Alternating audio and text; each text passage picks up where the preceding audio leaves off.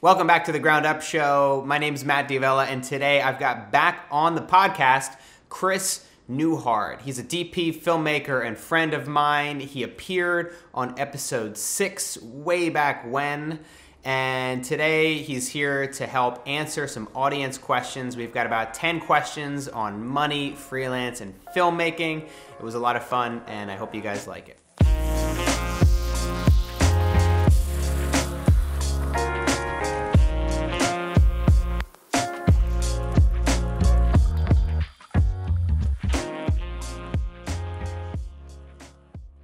How does it feel to be back? You know, I went to Jimmy Kimmel, but it was turned down, so I hit you up. Oh, so yeah, they couldn't have you on. Yeah. Just a scheduling conflict. Well, I- they told me I had to get two episodes of this in first. Oh, okay. I wasn't.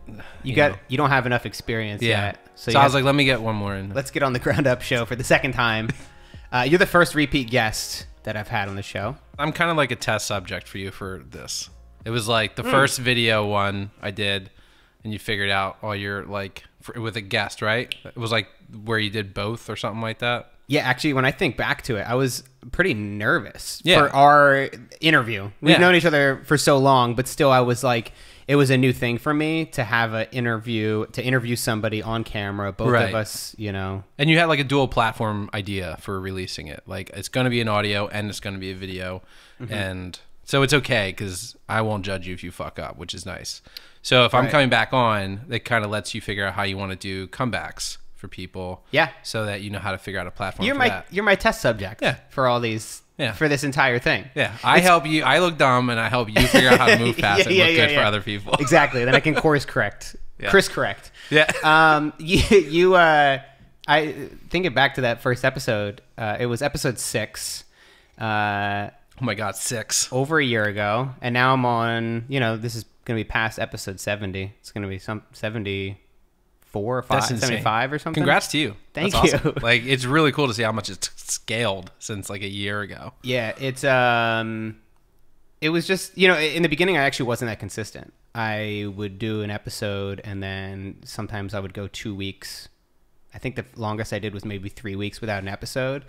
And eventually I hit a rhythm where I was like, all right, I need to start taking this seriously. I'm just going to start putting out one episode every week, which is a lot of work to find new guests, to meet new people, to get them Yeah. to schedule to come on the show, and then also doing all the research that it takes. Plus, you were planning um, a move.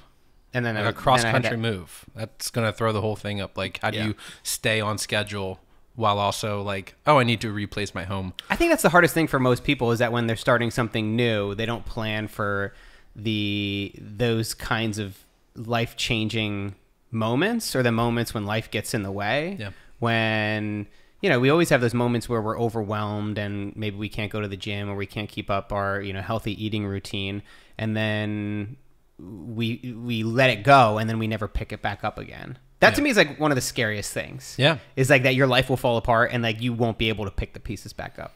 Yeah, I mean, just to even think about that gives me anxiety. Like the idea of like, okay, I have a routine, and then something breaks that routine. It's up to me to overcome the break mm. and like mend it so I can continue on a healthy path. But then, like, okay, let's say two things break it. Okay, well then I'm like, can I handle two things break it? Two different things. Like for me, it could be like not a, having a job for two weeks, but also it could be like an emotional thing, like a, a family member argument or or something that just gets stuck in your head and like throws you off routine. In your case, like moving across the country and you know getting established here in a new city and all that stuff. So Yeah, it's like you have to plan for the worst case scenario. Yeah. And you have to also make sure that like yeah, get back on track, but also don't give yourself such a hard time for those lulls. If you have like a Right. few weeks or a month where things don't feel like you're making it doesn't feel like you're making any progress. It feels like you're you're you're kind of standing still. That happens to everybody, but it's about like can you pick the pieces back up? Right, Can you get yeah. back back into it? Yeah, I mean that's like on, even on set when someone is like you can always tell who's professional and who's not because like amateurs just flip out at the smallest shit. like something goes wrong, and you're like, yeah, this is what happens. Like everything's gonna go wrong. It's up to you to like move past things and keep keep that boat going. Right, you, know? can like just see it in their eyes. Yeah. like especially for like you know whether it's a grip or somebody that's like entry level type positions or an assistant, like Yeah. you just see it in their eyes. This They, is like, the last job of my life. It Right, needs to be perfect. there's a lot of nervous energy, and no, I think it's not. yeah, yeah, yeah. I think that there's something good about nervous energy, Mm. and like, ha- I mean, maybe that's I, I try to just justify my anxiousness, like that it actually helps me. I think there's something that's good about it because you're always trying to like, uh, you don't want to screw up. You're trying to figure out ways to to execute and to deliver for a client or for your boss or whatever. Yeah. But then you have to eventually let that stuff go. You can't like just be a neurotic mess Yeah. for the entire time. You have to be able to deal with these situations as they come up because there's always problems. There's always problems. Oh my god. It's like everything's so good, and then you're like, okay, a terrible thing happened. Yeah. Gotta keep going. Yeah. How come? Why can't we?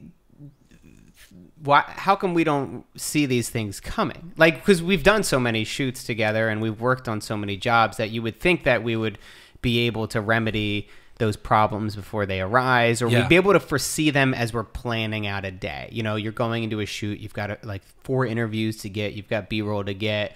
Uh, where do the problems come up, and, and why can't we see them? I don't know. I think you know. There's to me, to me, there's a little bit of like a, a confliction in my head of wanting to try new things and be adventurous in my creatives, like styles or ideas, um, but also knowing what works and then like how they kind of compete against each other a little bit.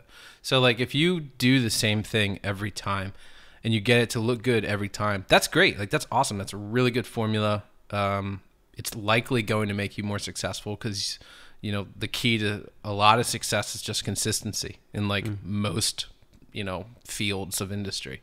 Just are you consistent with delivering success, successful products? So that can cause a little bit of conflict inside when you're like, oh, I want to do something different or new. So, okay, well, then you're not doing what you know works. And that is like, that's a hard thing to, to kind of come to grips with sometimes. It can be small and it can be big. Like, you know, for projects we've done together, we have like a, a good flow of like things we like to do, things we don't like to do.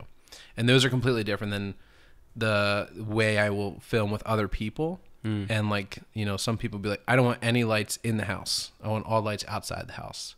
Okay, well, like that's fine. That'll be cool, but it's it's just different than maybe what the last like ten shoots were for me. Mm-hmm. So how do I still make a successful execution of something, even though I'm doing something very different, when I know that hindsight and historically something works, and I'm going against the grain to do something else, and hoping that my knowledge of what works, I can apply that to make something else work. Yeah, there's probably a couple things there. One is that you, when you're trying to execute on more ambitious and bigger ideas and bigger projects, you're always going to be pushing yourself into a situation where you maybe haven't done the full scope of that. Like you can take your previous skills and maybe Mm-hmm. lighting.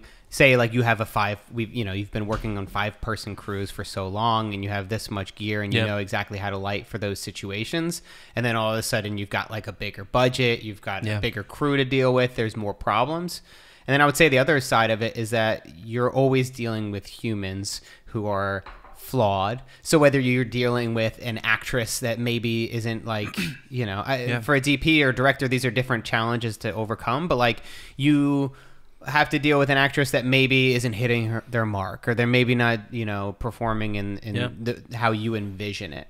Uh, or, Or they say, "Can you move all the lights out of the way? It's too bright." Yeah, or And maybe you're they're- like, "It just now it looks good." What do you mean move it? Like, sounds like you've this is something you've had to do. It's, it, I mean, it's a real thing. It happens. You know, you you're like lighting to stand-ins. I mean, this is such like a specific situation, right? But this is a really good example one of, of, like of the one of many things. this is go wrong. something that can make or break a DP or a photographer or an art director is like if you design something if it's lighting costume wardrobe like you know white contacts for somebody to wear for a cool shot and it doesn't work for them. And like that's gonna fuck your whole plan up right? So like, everything has to pivot. Mm-hmm. And some people can and some people can't. And that's really like you have to make yourself pivot. Because if you don't like you're gonna fight something that is kind of not able to be won you know? Like you, it's a collaboration you know? Yeah. it's not about you. Even if it's about you it's not about you Yeah, like right? think about how many times that we are just very disappointed with something that comes up. Like, this is not how we envisioned it. This is not how we thought it was gonna be. but here we are. We gotta we gotta Yeah. execute. We gotta deliver something to the client. So Got to make it happen. yeah, I mean that like to be specific with that, like if I'm lighting a scene and you know, I have my lights in order to make it look good, they're hitting someone in the face, you know, with a lot of light in the front and sometimes like it's funny cuz I experience this myself. I have blue eyes. Blue eyes is super sensitive to light.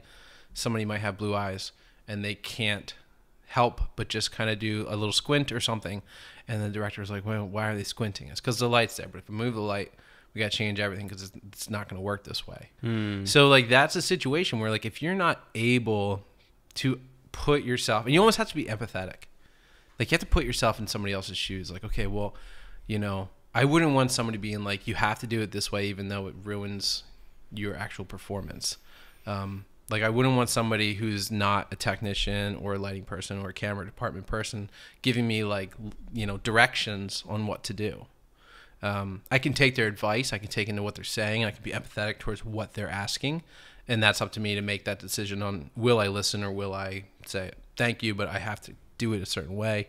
Um, you know, and that that kind of applies like to a lot of the creative field, especially if you're dealing with people who are not creatives in a creative field, like producers or uh, you know like managers, um, anything of that sort, like business people, and they just see the bottom line and and they don't really have time for a lot of that. Like, am I figuring out how to pivot and how to work and how to collaborate? Very quickly, it can get like controversial and aggressive and all these things that can just make you feel like insecure about what you're doing and then that can like ruin the whole experience of, of a project really fast for somebody who's you know getting into the business, whether it's filmmaking or just freelancing in general, like, eh, is there room for people who are assholes? I mean, I guess there is room Yeah. for it because like it, you see it a lot. Like they have to really make up for it with their skills, right?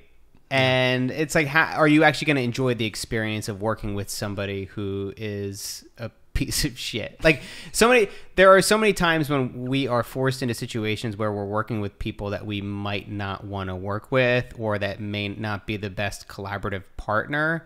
Like, how do you work with people who aren't nice, to put it Oh nicely? Like, how do we deal with people uh, who don't show respect or who aren't actually listening to you? that is like that's such a great question um, because it's it's not really answerable it's not really something that can you can put an answer to but it's just something that you can kind of keep in your head at all times i mean i'm very lucky that like um, I have a lot of people that I work for and work with, which I think are two different things. Um, and sometimes, uh, you know, they can be like picky or aggressive or passive aggressive, which is the worst.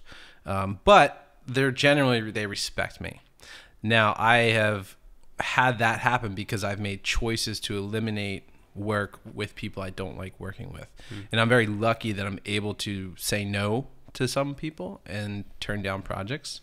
Um, but that's that's the thing that I went through for like half a decade, where I was like figuring out how to be a creative that like was for hire, because I knew myself as like a full time creative, even though I wasn't working full time. In my head, I'm like I do this every day, whether I get paid for it every day or not is irrelevant, and it is relevant. Uh, because it kind of makes you approach it more like a businessman and not like a personal like territorial thing and it gets a little territorial and i think that that is that same feeling that assholes have is a territorial over something they believe in or something that's theirs could be a director or a writer that's like no like fuck you it has to be my way. And you're like oh my god like i hate this person. Yeah. um, and that's a tough feeling but you know how, how do you be an adult and deal with people you don't like you know? Yeah, you, think- got to kill them with kindness you got to respect them and usually the best thing you can do is just listen. Listen to what they're saying identify what their issues are and try to counteract them positively. Yeah, I think it, it takes a lot of patience. And I think that there's two forms of patience. There's the patience in the actual communicating with them on a day to day basis and throughout the project. Yeah. And then it's also outside of, you know, and in between of projects, it's having the patience to realize that maybe this client isn't for you. that maybe you've done one project with them before and you really didn't like the experience. It was really draining. And you decide, you know what, like it's not worth it for me. I'm going to be patient enough that I know another project's going to come down the road that maybe I can go a month without a little bit of work. Yeah. Yeah. I think And there's, there's like, you know, there's two ways I think to kind of deflect those kind of clients or or those kind of attitudes and people. And one way is a perfect excuse for anyone listening who wants to know how to get rid of crappy clients. I'm a little booked up right now. Maybe hmm. we'll touch base in a couple months. Signed, whoever. yeah. You know, there because anyone understands that you're busy. You're busy. You get it. They can't do it. I'm sorry. I'm a little booked up right now. Potentially in a couple months, it might be free, but you know, I'm I'm on a six month project. It doesn't matter if it's real or not. Yeah. I've said this to plenty of people. Like I'm like in my head, I just want to be like middle finger, middle finger, get out of my life. But in my email, it says like I just took on like a, a one year contract. I'm doing a work, and I, I you know I'm on retainer. So I'll let you know next year if I'm taking on new Yeah, new clients. and I think there is something to say about like closing doors and burning bridges, and like you know, you don't necessarily want to flick somebody off, and and and first of all, you don't want to be rude because that person Exactly. may end up recommending you down the road. Yeah, And that's usually knows- what happens. Yeah, and then And yeah, you're like, "What?" And that might actually be an amazing client that they Yeah. recommend you to. And also, like a year down the road, you could also be like, oh my god, I don't have any money. like I Yeah. really need this project. I will work with anybody. Oh, but guess what? You told them to go fuck themselves. and now Exactly. you can't get that exactly. project. So that's why the busy thing is a, a perfect response because it's not disrespectful. You're not saying you don't want to work with them. Uh, Actually, just- it's showing your it's showing your value. You're saying I'm booked up. Like I'm really Yes. sorry, I'm booked up. They're thinking, oh wow, like he must be getting a lot of and work. you always busy." you always bookend it with let's touch base again. yeah, even if you don't plan to, because it means you're open to communication, which Yep. means on their end they're saying, like, if you sent that to a creative you wanted to work with, and you didn't know they didn't like you, and they said, let's touch base in a couple months, you would still keep that hope of like, okay, things are cool. It also allows them time to grow, and I think that's really important. Is like, there's a little bit of like a wall that gets put up when you get fucked over by somebody in like entertainment or any kind of industry that's like, you know, this this is all I know. So, you know, um, but that wall gets put up and you kind of like, you know, shut someone out, burn the bridge, whatever. But we all need to grow. We all need time to grow. And like, if you don't have someone giving you like a chance to come back and show your growth, then like you're really not giving some people the benefit of the doubt. I work with some people now who like three, four years ago, like I didn't want to work with them because they were assholes. And it's probably same for me. People who work with me now who like five years ago were like, Chris is a dick. You know? But I was going through some shit in my life. Like some serious shit that like I was taking out on people, taking out on business relationships, on projects.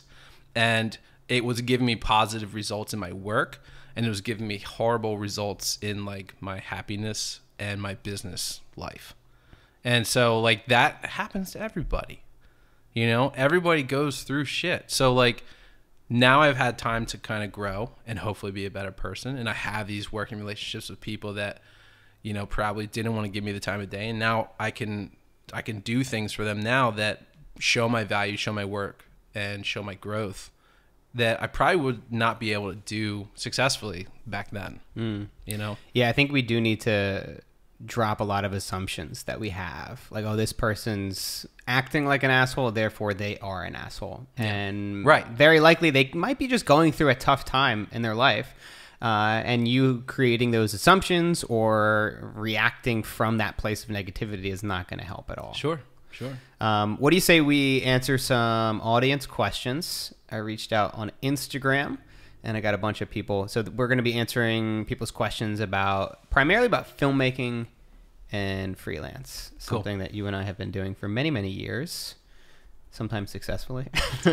Every now and then. Yeah, every now and then we get it right. Um, so I got a question here from Manny Peralta from Florida. Uh, his question is During those dry months where freelance work isn't as fruit- fruitful, what are some ways you budget yourself in order to save as many pennies as you can? Ramen and rice has been my go to for those types of months. So, what do you do? Because obviously, dry months happen. Like, Yeah. slow periods happen all the time. Uh, how do you manage for those situations financially? Um, well, that's a tough question because I'm not always able to really manage for them. I can manage in them when I find myself in them sometimes. Um, you know, every other every year is completely different financially for me. Like some years I do really well, some years I don't. Some years I have to buy all new cameras. Like I made, I did pretty good this year so far, but I also had to replace all of my cameras and all my all my computers. Well, you also think about like You know. uh, not only dry months, but you having your car stolen, broken Yeah. into, all your gear stolen, Yes. hard drive stolen, whatever it is, Keep like going, keep going. That's good. falling into a manhole. I don't know if that actually helps or counts as part of uh, that, but like, but they're they're basically unforeseen Yeah. financial woes are going to come in many forms. Yeah, and that can screw everything up. Like to be very specific. Okay, so um, maybe like a year or two ago, I had like a thousand dollars to my name the week that I came up to do that shoot for you, and I had finished the shoot. I had all this shit in my car, uh, which is the dumbest thing ever. Anyone listening, do not leave anything in your car ever. Never. Ever, ever, ever, ever, ever. Three times I've lost everything. I did. I've only done it once, where I've left, and it because I was like, ah, the gear's not that expensive. It's two tripods and a Manfrotto stand. It was stolen. My deductible was a thousand dollars. I had to buy all the gear from scratch again. yeah.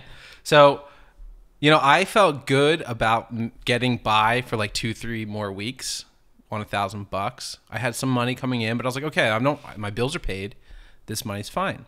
But then I found myself owing. You know, I had to replace a car.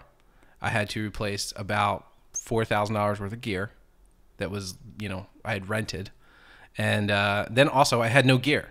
That was like not. I had to buy all this shit, and it wasn't even mine.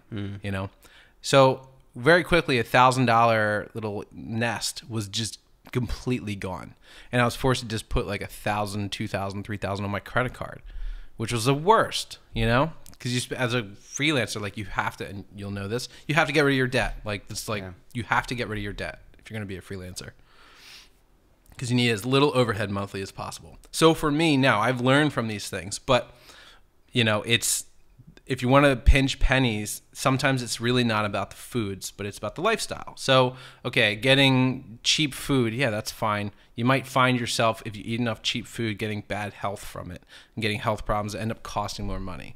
I find that like if you want to save money, you, you create a lifestyle that doesn't require a lot of spending. For me, it is I like to buy one or one or two video games every couple months, and I play them whenever I'm not working. I sit and I play PlayStation uh, because it doesn't cost me anything. You know, it's like a two bucks a month in electricity, whatever. Mm-hmm. And then that'll get my time through, so I'm not going out with friends, not going doing stuff, going to the bar, whatever. You know, as far as foods go, go to Sam's. Buy a fuckload of food that lasts forever. Uh, if you know you're not going to be working a lot, right? Like you can. T- it's all preventative measures, I think. Um, yeah, I think that's that's the, the the main key to get out of it is that don't wait until the dry months to be like like well what do I do now? Like it's Yeah. it's be very very intentional and smart with your money all the time. Yeah. You know what I mean? Set these things up in advance because you know the dry months are going to come. You know that there's going to be that emergency Yeah. when, you know, your car breaks down and you need to spend a $1000 to fix it. Yeah. So make sure that you you save up as much as you can. For me like I mean, common financial advice is to have a $1000 in an emergency fund. You had a thousand dollars, I had and that. and like it helped, but it didn't cover everything because when you're a freelancer or you're a filmmaker or you're an entrepreneur, somebody who's doing things on their own, it requires some more expenses. You have to be Yeah. assured during those you know circumstances where you get your gear stolen that you can afford it. And also like for me, uh, it, it really depends on how risky you want to take it. But for me, I'm pretty risk averse. Uh, having graduated with six figures in student loans, I, I never wanted to be in that place again. So for me, it was like, and also like having to move home with my parents because I couldn't afford to pay rent. I was like, I don't want to have to move back with my parents again. Yeah. So I'm always going to make sure I have six months rent Yeah, that's great. in advance. I'm at that now. I wasn't there two years ago, but it took two years to get there. That's the goal. Yeah, to, You know? to get to that place. So you, you're probably not there yet. Most people aren't. Yeah. I mean, it's it's scary to look at the numbers that like 80% of America is living paycheck to paycheck. Yeah. Like that is, that is scary because I know the weight that that has over you and also the decisions that you make when you're under that kind of stress. Yeah. When you're living paycheck to paycheck, you're going to start taking jobs just for the money, just because uh, it's it's going to pay the next bill. Right. You start like you, you de- devalue your own time and your own hours, and you're like, okay, so let's say I owe two thousand six hundred and forty dollars in bills every month. If I just get enough work that covers exactly that, I'll be fine. The problem is, it's ninety hours a week of work. I- I'll just do it, right? I'll just mm-hmm. we'll just push through it. I'll do it, and that's what I did for like six years. I mean, like you can probably attest that I was like a shell of who I am now because I was always exhausted. I was always just like, oh, I just got done a shoot. I have to go edit for six fucking hours to get some dumb thing done. You were grinding. yeah, just nonstop. I had I had to do that though. Yeah. you know, I'm not talking down on it. I'm just saying that like it has its negative effects, and ultimately by doing that, by trying to fill every dollar with the dumbest things I could just to meet the bills, I ended up costing myself a lot of time and a lot of money. Uh, as I wasn't able to make smart decisions. I wasn't able to keep up with things that needed to be kept up with. Um, and there's actually a really good analogy. I had a conversation similar to this to a friend not that long ago, and he told me a really, really good analogy. Um, so I'll share it with you guys. So, um, slow times as a creative is essentially an umbrella, and you don't plan on it raining every day, but you don't want it to rain and not have an umbrella. So you got to make sure when it's not raining, you get yourself a really good fucking umbrella, right? So that essentially what you're saying, being aware that slow times will happen. So when you're not slow, take preventative measures to ensure that you are okay, you're safe, you're eating healthy, You're covered. you're covered when it does rain and when it's slow. It's a great. And I love that, right? yeah, no, that's really like good. this. I was like, that's that's hundred percent how I feel because Yeah. it's the worst feeling in the world when it's slow and you don't have money. It's the worst feeling in the world. You know, you go outside, it's pouring rain, and you're like, I don't have an umbrella. Yep. I have nothing to cover me during this, you know, two three day storm. But I gotta get through it because that's what we do. So I think this is where, like, there, there's the advice. All right, have a thousand dollar emergency fund stashed away. That's not in your checking account. That's like hidden somewhere. Yeah. I, Dave Ramsey suggests. Cash in your apartment. Right, yeah, like he says, actually, like frame it, and it's Yeah. like literally put only uh, break in case of emergency. Take it out in cash, then you're not going to use it. I hide it in little things throughout my house. so it's all over the place. uh, but no, that's, that's smart because then like that's always there. It's a little bit of security. You have it. Uh, next step would be uh, you know get six months of of rent out ahead of yourself. And I would say for those that are freelancers and creatives, like do this before you start to tackle your debt. For me, like I had that before I started to tackle my debt because as much as I wanted to get out of debt, I knew that I didn't want to put myself in a in a sketchy situation. Yeah. Um, and I wanted to continue to be able to do this, and I wanted to live comfortably, and I didn't want to have the stress and anxiety of having no money. So I had that built up, and then you can start to chip away at your debt. You can be a little bit smarter. You know, be smart with your money, and don't spend it on frivolous things that don't add value or things that you know aren't making. Make a list happy. of what it costs to be you for a month. That's really important. Yeah, yeah. Do a Google spreadsheet. Like- actually break it down. I was I thought that my overhead was like three grand when I was living in Philly like two years ago. I was like, oh, you know, I think my overhead's like just about three grand a month, like for all my bills, my rent, my car, my gear, buying it, and shit like that. And I actually sat down and added up like, okay, how much is Netflix? How much is Pandora and Spotify? Oh my god, I forgot I had both. Okay, and then I just go through all the things that take out monthly. The Adobe that went up ten dollars three months ago. You know, that's sixty dollars a month now. And then I made that list, and it was forty two hundred dollars. It was twelve hundred dollars more than I thought it was, which meant I thought I was making enough money to cover myself, and I was not. And that's why I never had enough money to cover myself more than the month that I was living. And that was really crappy to figure that out. But it was a defining moment when I knew. Because then I was like, I got to get at least a $1,000 off of this now. And then I was able to make smart decisions. That would be a huge thing I would say to add that. Add to It's always going to be more than you think. Yeah. It's so because like going out to dinner, going out for coffee, these little things Yeah. add up. And I'm not saying don't do those things. I'm just saying we should be aware of how much our, our standard of living currently Sure. is and how much it costs. We have a question from Matt De Silva from Real Community Talks. On average, for your short films, what kind of turnaround time should clients expect for the finished project? Is that negotiated beforehand, or do you set windows like one month, one week, etc.? What is considered when determining finished finished project timelines? It's a good hmm. question, and I think it really cuts to the core of how we communicate with our clients Yeah. because the I've only had a couple serious seriously negative interactions and, and moments with clients. One of them specifically when I didn't clarify the deadline. Yeah. When I didn't get out in front of it and talk with the client and say, um, so yeah, this is gonna. I'll probably be able to turn this around in a week, or giving them an exact deadline. Uh, what I did was assumed that they would expect it within uh, two weeks or so.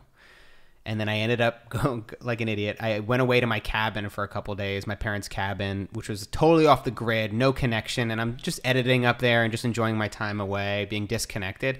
And I come back to 20 missed phone calls from this client and like all these texts and emails. And he had expected the next day turnaround time. That was his expectation that I was going to get it shot and then the next day have it to him edited. He was an idiot. he was an idiot for having those. He was immediately fired as a client. yeah, he had way too high of expectations of what that turnaround Yeah. would look like. But at the same time, I You fucked up too. I am completely at fault. You have to take full responsibility for not communicating and saying, "Hey, like, what kind of turnaround time were you thinking on this project? Do you have a deadline when you really need this out?" He says next day. I say, "All right, well, that's going to be four times the cost." Right. you know, I can do it, but it's going to cost you a lot more money because that's going to require me, you know, not getting any sleep tonight and working to to get this done in a rushed manner. and not only that, but you're dropping anything and everything you had to do tomorrow, which Yeah. could be other clients. You're pushing, yeah, you're pushing other client work back. Like, there's a lot of reasons why you would want to change your rate in that regard, but you need to get out in front of it, and like, you need this list of questions to ask your clients beforehand. Yeah, the setting of expectations. I have been. I mean, this is a very interesting question because it's a varying answer. So there is no way to set or determine a specific timeline without having a conversation with who the video is for.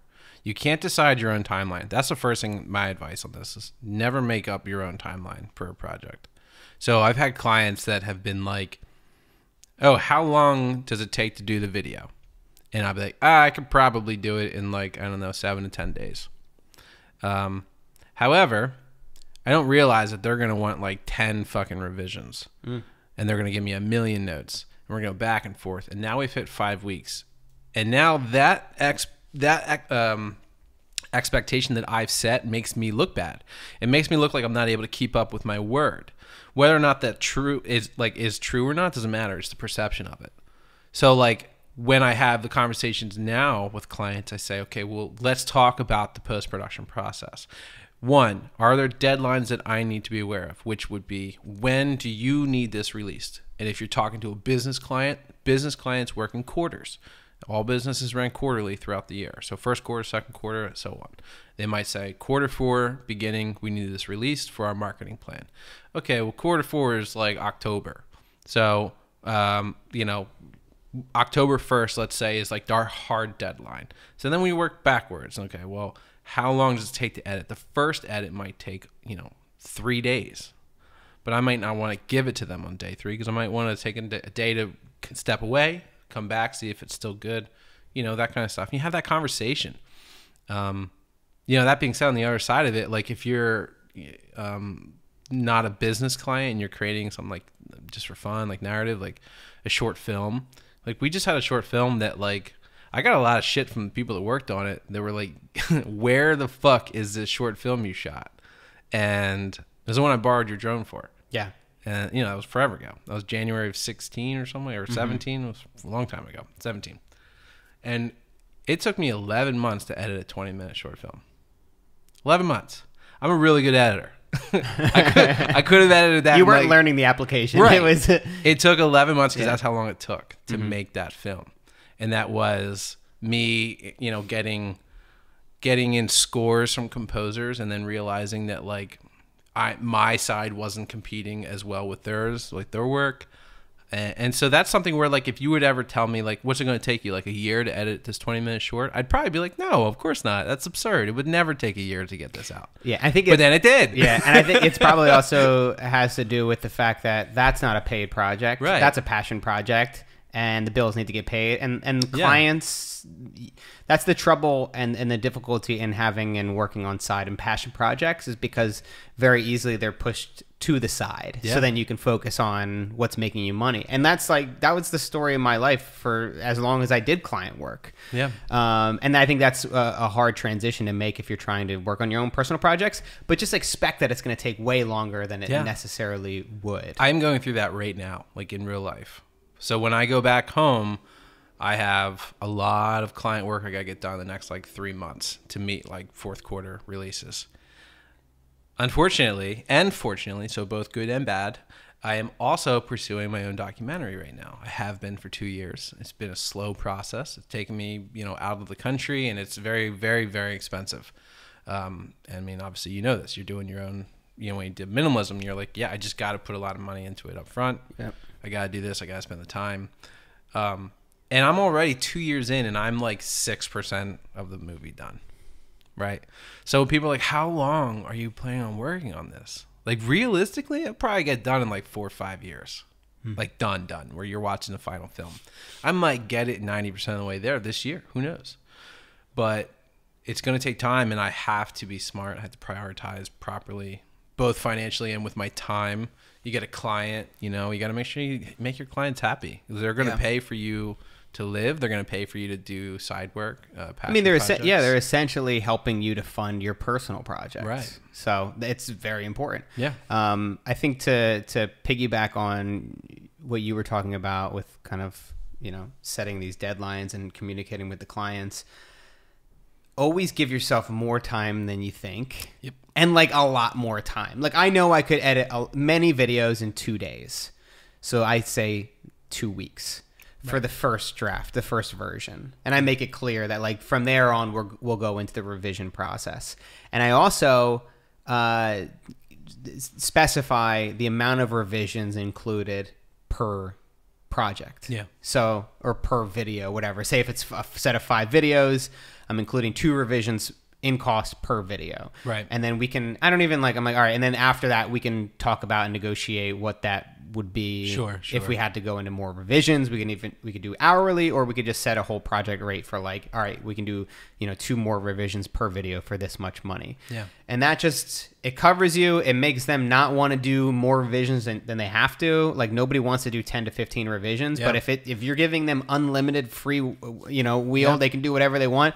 They're going to use all they're going to go 10, 15, 20 revisions. They're going to, "Oh, can you tweak the color? Can you tweak this? Shot can you by do this?" shot by shot by shot. shot. It's going to happen. so, you need to try to you need to add a little bit of friction for them to not want to do that. That's also going to uh, it's going to make it so they don't take advantage of you, and also you're going to get the project done sooner, so you can get on to the next one. Sure. Um, yeah, that's a good one. Great question, Matt. Question from Jacob Jolly. He's a filmmaker from Oklahoma. Do you have any tips for freelancers looking to transition from creating wedding films to shooting for bigger clients? Hmm. We both went through that. Yeah, we did. This is a question for us. You don't do any weddings anymore, do you? Have you done No, maybe? no. Yeah, I know you've like helped some friends out every once in a while, but Maybe once a year I'll shoot a friend's wedding for free. Yeah. Just like to help them out. That's like the nicest thing ever. I don't care about my friends enough to do that. I'm like, nah, sorry. I'd rather shoot their wedding and then just give them footage than like give them a check. right, because it, yeah, it, weddings are expensive. Yeah, like I'd rather give them a check. I'm like, I don't want. I want to actually like have fun. I don't Yeah. know, but it's uh, you're that- gonna you're gonna hate this advice, but I'd say um, get out of Oklahoma. get out of Oklahoma. no, I'm just kidding. Well, but you know, put, well- make yourself aware that like you have to be realistic about the work you're pursuing. You know, what kind of work takes place in Oklahoma? You know, do, do a breakdown. Is there a lot of commercial work being done? Okay, if there is, who is making it? What agencies and what companies? Uh, go meet those people. Go walk into their offices and introduce yourself, and uh, you know, just start on that path. For me, getting out of wedding work was it was difficult because it was scary because that was where most of my money came from.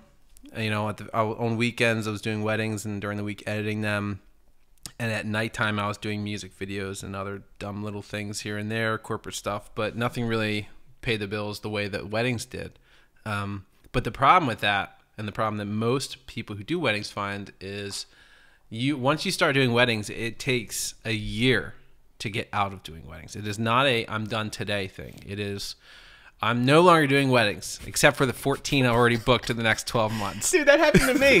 Where I'm like, I was like, I was totally over it. I was like, I'm done with weddings, and I'm like, fuck, I got all next summer, the Yeah. entire next summer, and like you're talking weekends during the summer. And that's job. That's real jobs you cannot take now.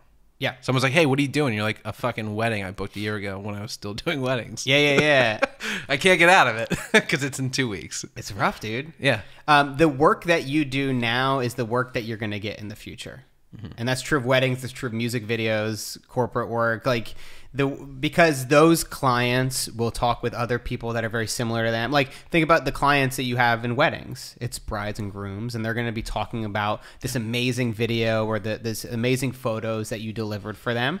And they're gonna they're gonna talk it up to their friends who Yeah. may potentially want to hire you. That's the same thing for a corporate client or a startup in tech companies. They often interact and communicate with other tech founders and tech companies. Those are going to be the the clients that you're going to get, and also the people that are coming to your website, those that are seeing your work, your reel.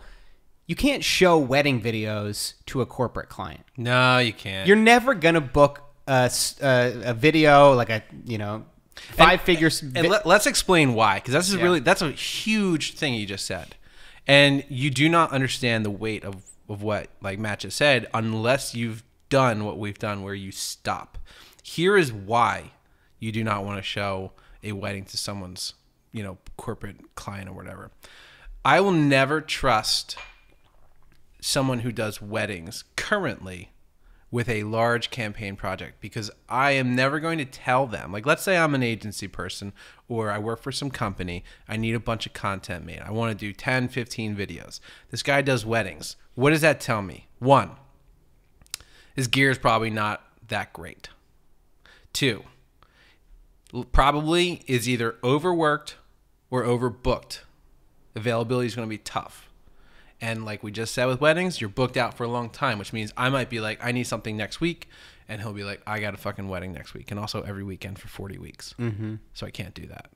Okay, that makes me not want to work with you. Three, if you're doing weddings, there's nothing wrong with doing weddings. But when you want to transition out of it, usually there's a financial burden. That how do you, how do you replace that money with work you don't have? and that is like sometimes it makes me feel like people are afraid to like like I almost trust people who are willing to be freelance and not take a job. People who take their job very seriously uh, with really really expensive projects, as opposed to people who work all the time, uh, like doing wedding work and stuff like that. Like I don't necessarily bring those people onto the bigger jobs I have. Even like me as a DP, like hiring a crew. I know some really good crew, but they do a lot of wedding work. I don't want them on my sets. It's just a little bit too much crossover. The me. experience is different, though. Like the experience of shooting a live event versus shooting, you know, a, a video for a startup company Yeah. is very different. I just think about like showing that video to the startup founder. Yeah, they're You know not going to mean? want to see it. Like they want to see, like I, I think it, it comes down to it that the people that are looking at the work aren't filmmakers or photographers. They're not in that world, so they can't say, uh, take that and then like change the music out and then change the visual out Yeah. and make it. Uh, you know, pitching a startup video. They Right. want to see another startup company that you made a video for that has the nice, similar tone and similar style. Mm. They don't want to see like some a bride crying and like kissing the groom and like you know what I mean. It's it's Mm. just totally different, and you want them to be able to envision the work that you're gonna give them. Yeah. And And it's it's tough, man. I mean, it's a hard transition. And, my advice for getting out of it and pursuing new work is one, figure out what you want to do. Like, let's say you took wedding wear completely out of your schedule. What is it you want to do? Do you want to be doing commercials? Do you want to be doing documentaries, short films, you know, docu life projects, things for Vice?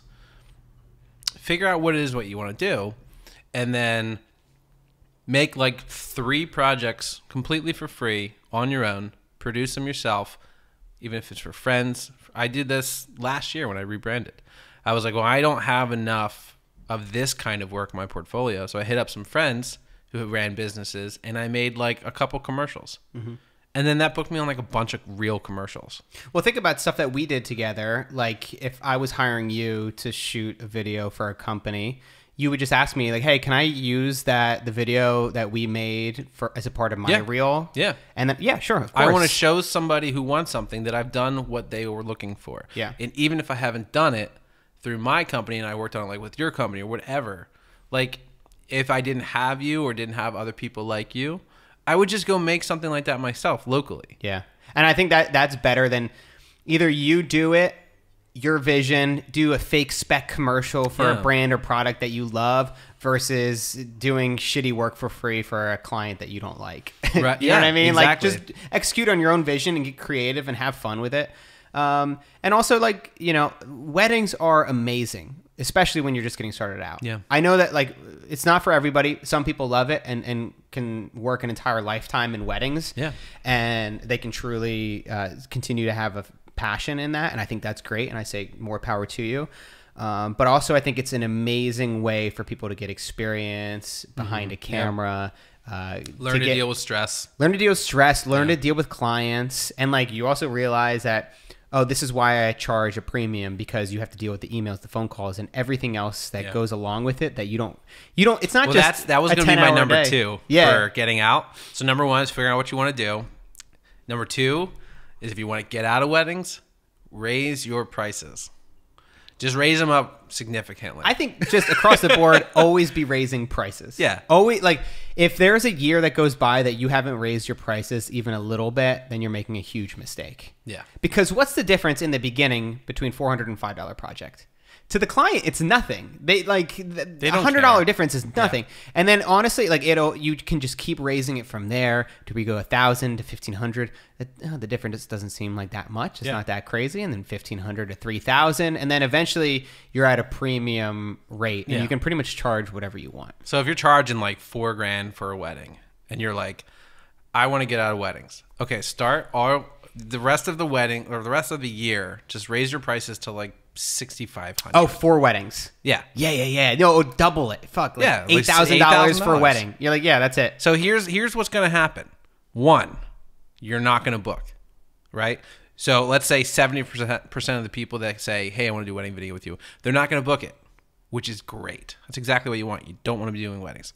the other twenty five percent of the people go, "Let's do it," and you just booked a fuckload of money with a very little bit of work, You're doing a fraction of the weddings and that is the for goal. about the same amount of money, Yes. or if not more money. And then what you do is you pay somebody else to go shoot those weddings so you don't have to do it.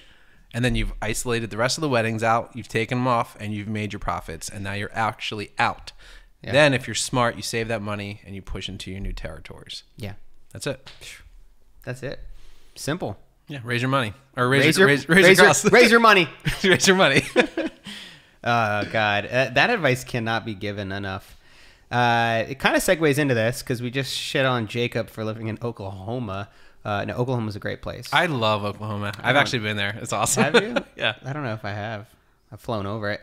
Uh, Chris Temple, who was actually on the podcast, uh, he has a company with Zach Ingrasci called Living on One. They've got a couple documentaries on Netflix that are great. Oh hell yeah. Um, so he asked a question on Twitter: How important is location? Can you truly find success outside of a major hub like LA and New York, even if it's San Francisco or DC? How important is the location that you're living to the work that you're doing? The bigger budgets you get, the more likely the clients will be willing to send you anywhere. When I was just starting out, the projects that I was getting were $400, $500 per, for a project.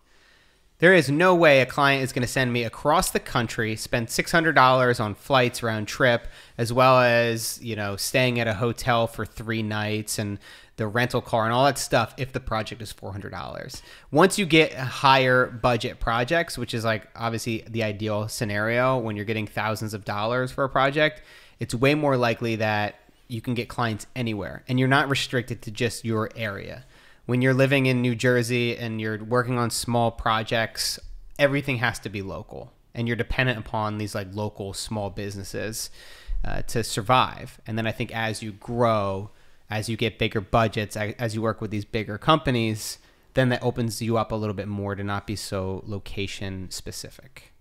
I completely agree. Um, I think there's a part of it though that is really important, which is you have to define what you believe success is. like you know what does it mean to be successful? Is that finances? Is that meaning you've made a hundred thousand dollars for the year? Does that mean you did not make a hundred thousand dollars but you're working every day and you're getting paid for it? Does that mean you've worked on high profile stuff that everyone's looking at like viral videos or feature films or tv shows and maybe you're only making 50,000 a year working on them, but you you got some good credits. There's different ways you can be successful, and you have to really figure out what that means. Um, I think all three are definitely doable, but I think not all three can be done anywhere. So if you're living in the middle of Kentucky, you're probably not going to work on a show that shoots in New York City, realistically. So you might have to go there or Los Angeles. Like you're not going to be a part of some of those projects. You could work on a documentary. Those can take place anywhere. You could work on editing things for people like a remote editor. You could be doing a lot of things like that. But I think figuring out what the success is like super super important. So for me, I was very lucky that the first half of my career I made no money and I had all of my work I, I was like everything I was like working on was like going viral. So like I wasn't making any fucking money. You had the views, but, But you I had the views. the So I was like within like a couple years I was at like I don't know, like 80 million views on my stuff. And I was like fuck yeah, I'm good. like I'm successful. Yeah. But I had nothing, nothing to my name. nothing. Uh, and now I work on things that are much smaller that are not necessarily like music videos or viral videos and stuff like that. You and I just totally switched paths. yeah. Because Yeah. now I am getting views, but I have nothing. I have Yeah. no money. we totally took a, a change of course there. But like, yeah, it's definitely about like, um, I think there's also a difference there in that like the views you were getting, you also didn't have ownership over Yeah. that content. Wasn't you're, mine. You're creating stuff and you're pushing it out there, and ownership became a huge uh, thing for me because Yeah. like um, and like as you you're experiencing now with making your first documentary it's like this is yours you can put your entire creative say Yeah. and your passion into it your heart into it however much money you want uh, because you believe in the project Yeah. and i think it takes uh, it, t- it takes a lot to be able to do that Yeah. it, it's not always so easy So I don't know if like this is. uh, I mean, he provided two locations. I don't know if that's because he's bi-coastal or if He's in LA just used here. to do that. But uh, I would say that like DC has a not so great film scene, but Baltimore does. So like, and when you say film scene though like is it uh, like as in working production companies, Sure. like of actual caliber for big agencies and stuff like that. Okay so as opposed to just like a freelancer. Like you could just be a freelancer doing like video gigs, and you may not make a lot of money, but you could work probably every week in DC. I mean, there's people Hmm. doing it, right? I think maybe because we both have different approaches to it, where you might uh, encourage people to work for agencies and production companies, and as like, things, a DP, things yeah. that create. Well, even if you're a grip, or even if like if just a general filmmaker, like finding companies that do consistent work. Not, I think there's a big difference between like. Like I have some clients I don't work with them anymore because they're fucking jerk offs. but I had some clients that were in, they were just so important for me starting my freelance career. Yeah. It was like my four main clients. And one of them like worked, I won't say any names, but like one of them was like a company that did a lot of videos, like two to three videos a month for like pen, like ho- hospitals, like in the area, you know? Uh, so we would go in and interview doctors and like film them doing a surgery or film them doing some shit. Um, but like it was really, really important for me as a young filmmaker who was not really in the best location. I was in like the suburbs of Philadelphia, not even in the city. You know, they were giving me a consistent like eight hundred thousand dollars a month in shoots.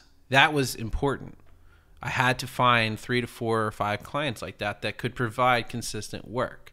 Now that's a little bit different than you being like a director or filmmaker doing like a commercial or something that's not every month. Yeah, You know, those are like like if you get a client like we I don't know. If, not everybody's going to get like an Envision or something like that where it's like a long-term project. Mm-hmm. So maybe it's like a short video. That might be great for like a month, but you may not have them coming back next month. And you you should want reoccurring work if you're starting out and especially in a location that's not, you know, paramount for working a lot. yeah. Getting retained clients, getting clients that come back is it's it takes a lot of effort, and relationship building and building trust with clients. Yeah. Uh, and, and it's just so much easier for them to come back to you for work. Uh, I think it's opening up for people that are just freelancers, especially as like uh, video is becoming more and more in demand online through like Instagram and, and like, you know, anybody who has uh, is trying to connect with an audience online, whether it's a barbershop or, you Yep. know, a hair salon or whatever. Uh, they will they see the value in video whether it's one video a short clip or they want to actually create consistent content over a long period of time.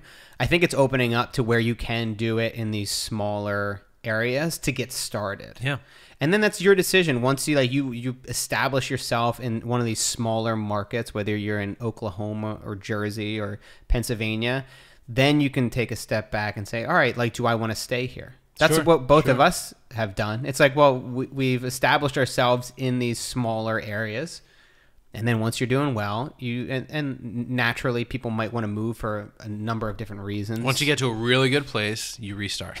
you're like let's just start over let's just throw everything area. out the window yeah. um, but then, I mean, that was definitely something that I was worried about a lot in the beginning. Was like, I can't move away from New York. Hmm. And then I know you just had this too. And then all of a sudden, you step back and you're like, you're you're worried about this for so long. Like I'm so I'm I'm kind of trapped here. I can't leave because all my clients are here.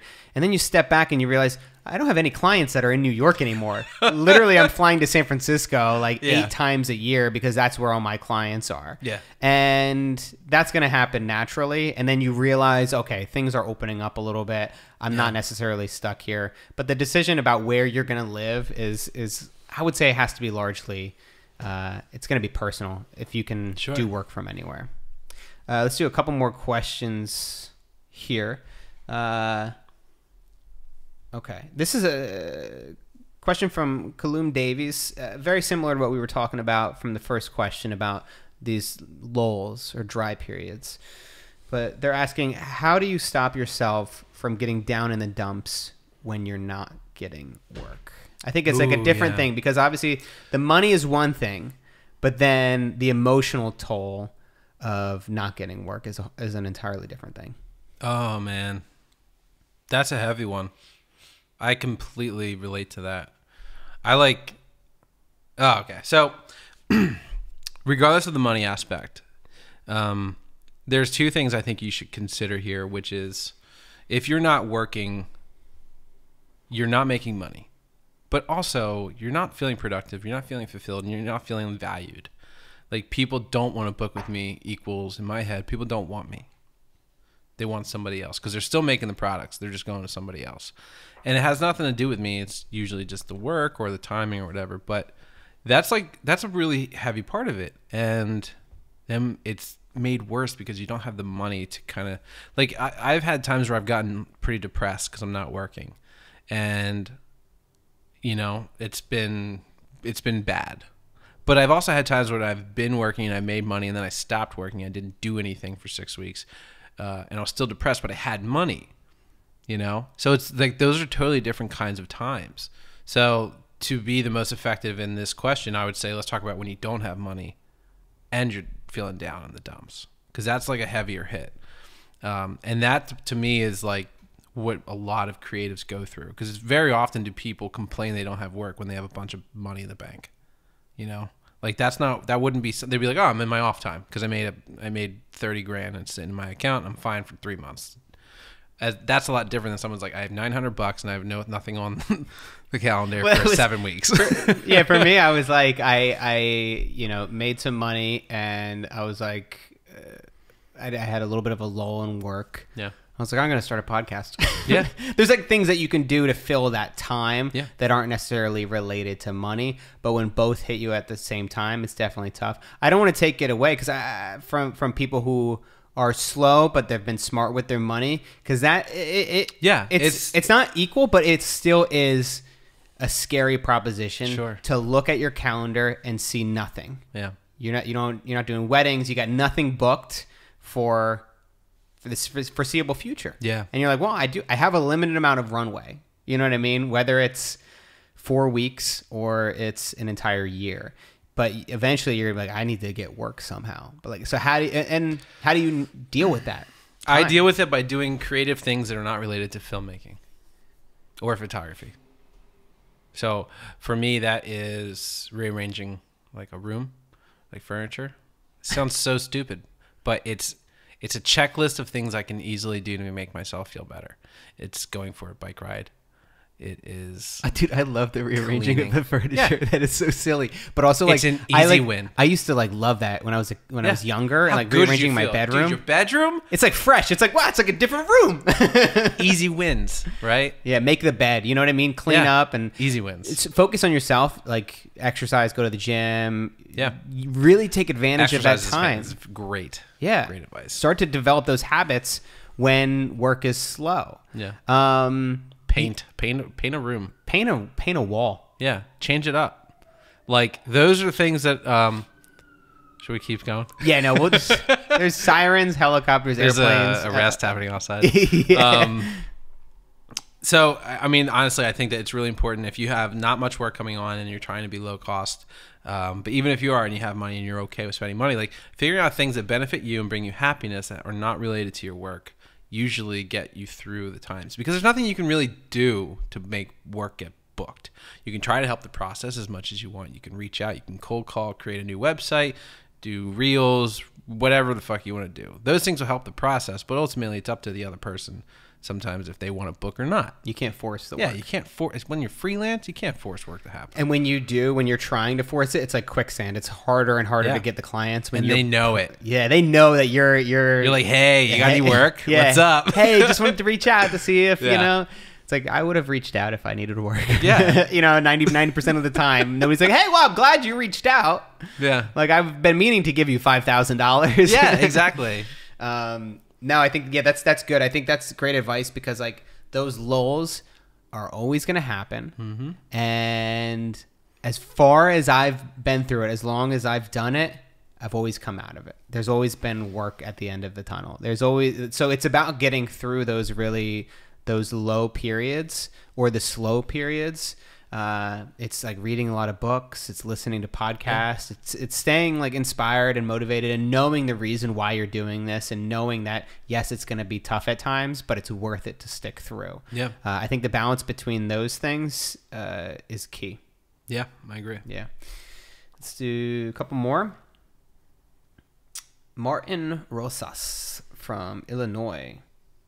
When are you happy with your filmmaking gear in an ever changing market where there's a new camera and new lens that comes out every week? Mm. The first thing you can do is understand that no gear will bring you happiness. That is the most important thing. It is a tool and only that. Do not get emotionally attached to anything you buy, specifically filmmaking gear. Because, I mean, think about it, right? The whole red, you were like fucking jumping up and down when you got it. And it's gone already. Yeah. and I was like, It's gone. Wait, that was a lot of money I wasted. Yeah. but you know, it was utilized, right? So it's mm-hmm. like you bought the C300. It was a lot of fucking money. yeah. But then you you used it for what you used it for, and you got rid of it when it was done. And now you have another one. You know, mm-hmm. like the next model, Yeah. and it's so cool, right? And we got all these little Sony cameras here. They're so great. They're so they're gonna be gone in a fucking year and a half. Like we can be honest. About Five that. years, people would laugh at you for using these cameras. Yeah. I ha- I wonder if the quality, if anybody would know the goddamn difference. Nah, I think because. I think the way that it's going, it's pride. It's all pride. it's all pride. Like I mean, are we all gonna have 5K monitors at the time? And like, is somebody gonna be able to? I don't know if My phone can't even load an Instagram photo sometimes. Right. What the fuck do I care about? Like, is it Sean Red or Alexa? Like, It doesn't make for like online shit at this Yeah. point. It's not that big of a deal. And but I think that's actually good for people that are just getting started out who don't have much money to spend on a camera. Yeah. Is you can buy my I when I made minimalism, I shot it on a Canon C300 Mark One. That camera you can get used for a couple thousand dollars now. dude, like two grand. That when I bought it, it was $14,000. Yeah. dollars. That's a very expensive, high-end cinema camera that produces a gorgeous image, and people are like, "Oh, that's the old version." I'll put my 1080p C300 up against most people's red cameras Yeah. any day because I know how to make it look good, right? Well, and look at I mean, we, we, you colored minimalism. We played that in theaters. Yeah. Not one person watched that and went, Mm, doesn't look 4K to me. Yeah, yeah. Like- Like doesn't look good.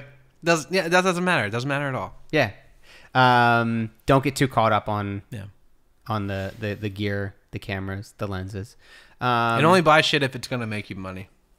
Like there's there's so many stupid like the last decade I've probably spent I don't know fifty thousand dollars sixty thousand dollars on camera stuff, and I would say only thirty of it was relevant to the actually what I was doing. Mm. The other thirty was shit that in a year later was gone. Got rid of it. This is stupid. I need this and then I got rid of it. I Need that. Got rid of it. I bought a matte box recently. It doesn't fit in any of the gear or any of the shoots that I bring it on, and so I take it off because it's heavy. So I bought a fucking matte box so I can leave it at home for shoots. Right. Right. Like but still that's part to of the this day. process. Yeah, no, and then you buy stuff that you realize that you don't need, so then Yeah. you just sell it, get, Just rid, of it, and It's it's it's not a big deal. Um, I would say like yeah, one reason it's going to make you money. The other reason it's going to save you time, which essentially could be the same thing. Sure. Um, for me, that was my decision to sell this red camera that shoots at 8K.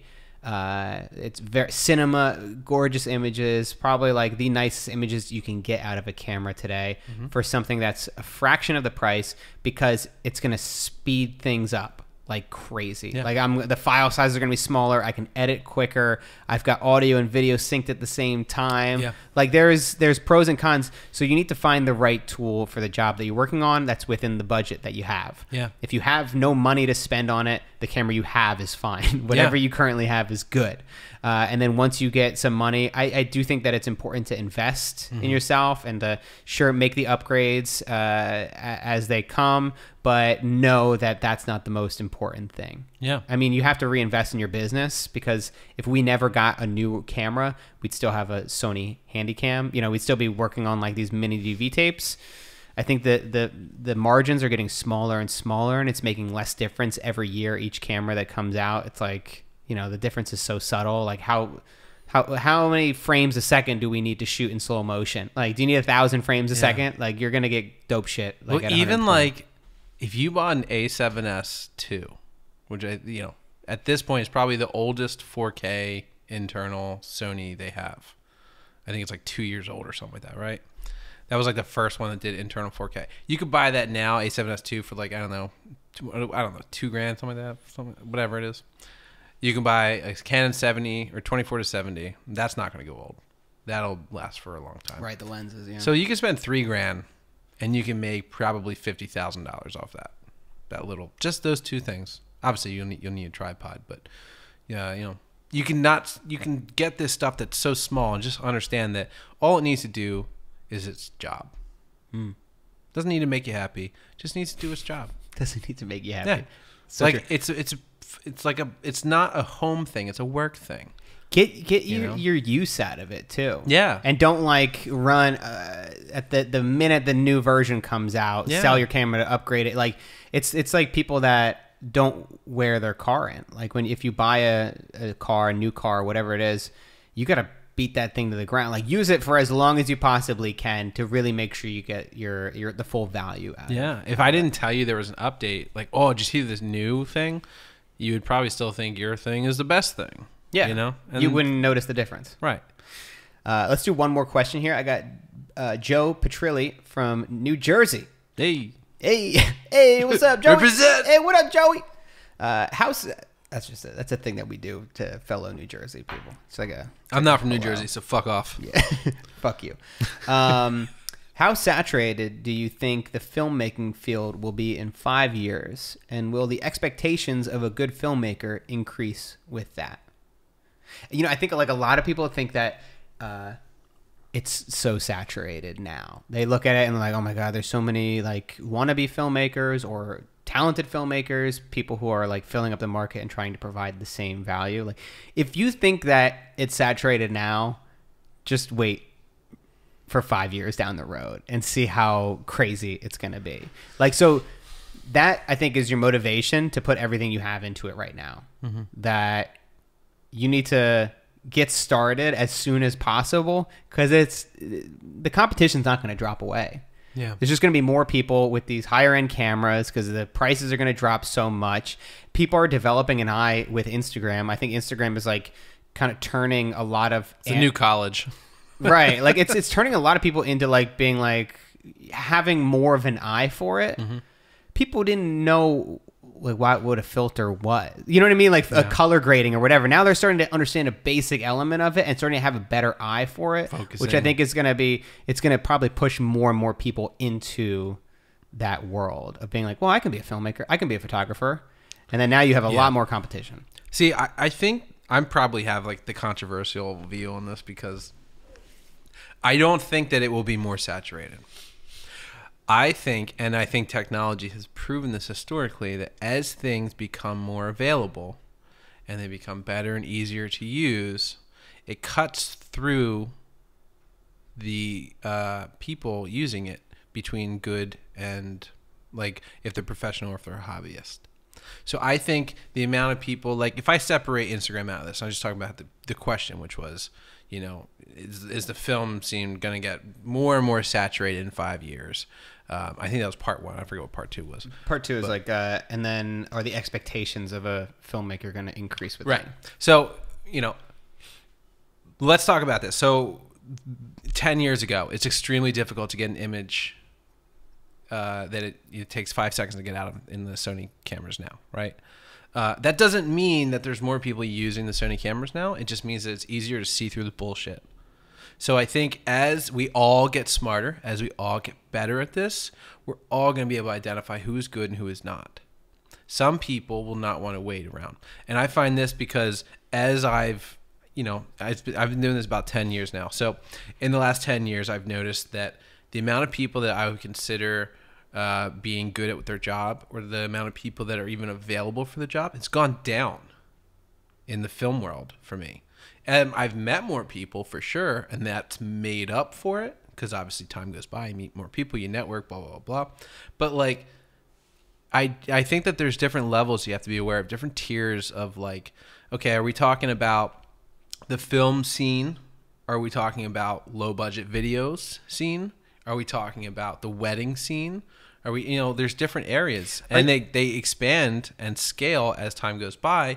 And it's like you probably noticed this when we first started doing weddings. So we both started right around the same time. And it was like 2009, 2010, something like that. And anyone who had the 5D, you were like, fuck, we got to hire them. Because they're going to have, immediately, they're going to have good quality. It's going to look good. They got some lenses, whatever. And then everybody had a 5D, and you were able to tell who was good and who was not good.